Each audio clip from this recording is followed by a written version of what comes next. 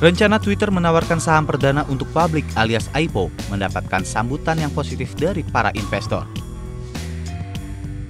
Sumber Reuters menyebut telah terjadi kelebihan permintaan alias oversubscribe.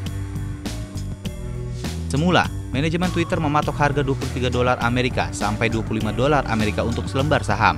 Namun, dengan laris manis bak kacang goreng, harga saham Twitter diperkirakan bisa lebih tinggi lagi.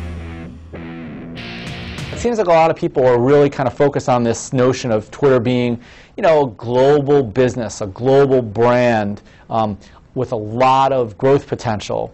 And we agree with that notion. But to be valued upwards of $20 billion potentially without any profits at this point, or we think through next year, um, we think that, you know, their kind of um, margin of safety is uh, a lot more narrow than for other companies that have been around for a while. Ya, jejaring sosial ini dengan anggota mencapai 230 juta orang itu mengalami kerugian hingga 64,6 juta dolar Amerika per September 2013. Selama roadshow, investor memang tidak resisten dengan harga. Mereka lebih banyak fokus pada bagaimana strategi iklan dan rencana global ke depan yang akan dijalankan Twitter. Meskipun mendapatkan sambutan positif, beberapa analisis juga takut IPO Twitter akan mengekor IPO Facebook.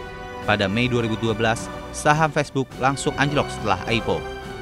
We certainly don't expect some of the trading issues that uh, happened with Facebook uh, when they listed on NASDAQ. They're obviously very cognizant of some of the issues that they faced.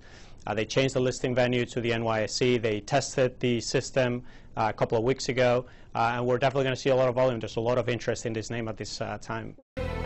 Saham Twitter akan diperdagangkan di bursa saham New York dengan kode TWTR.